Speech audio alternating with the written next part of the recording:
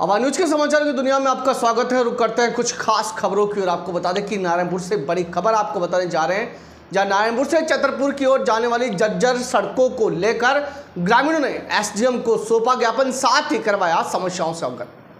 आपने उपखंड नारायणपुर सुशील कुमार जी को जो जर्जर अवस्था में रोड पड़ा हुआ है चतरपरा से नारायणपुर तक का ज्ञापन दिया है। बड़े बुज़ुर्ग भी काफ़ी संख्या में आपके साथ थे। तो हमारे अधिकारी और कर्मचारियों का सहयोग कैसा रहा, सर? हमने आज एसडीएम साहब को मुख्यमंत्री के नाम ज्ञापन सौंपा है कि जो छतरपाल से नारायणपुर तक जो रोड है, वो काफ़ी पुरानी सड़क है, पर काफ़ी दिनों से टूटी पड़ी है।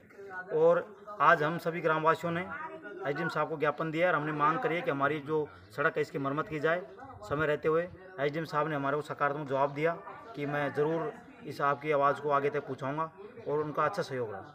आप इतने ज्ञापन देते हैं लगभग सभी में सफलता मिलती है तो इस मामले में क्या होगा सर? हम आशा करते हैं कि इसमें भी हमारे को सफलता मिलेगी और हम हर संभव प्रयास करेंगे। या आजकल जो एनजीओ के माध्यम से रक्तदान शिविर लगाते थे और शिविर लगाते थे, इसमें शीतलता का कारण क्या है, सर?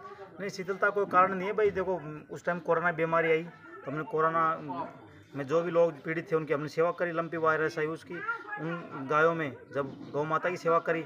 और अब क्या है, गर्मी का मौसम है, थोड़ा सा जो रक्तदान देने वाले नौजवान साथी हैं वो कैंप के माध्यम से नहीं, हम व्यक्तिगत जो भी हॉस्पिटलों में मरीज़ होता है, उनकी व्यवस्था करवाते हैं बेच करवाते हैं, कैंप नहीं लगवा रहे गर्मी की वजह से वजह से।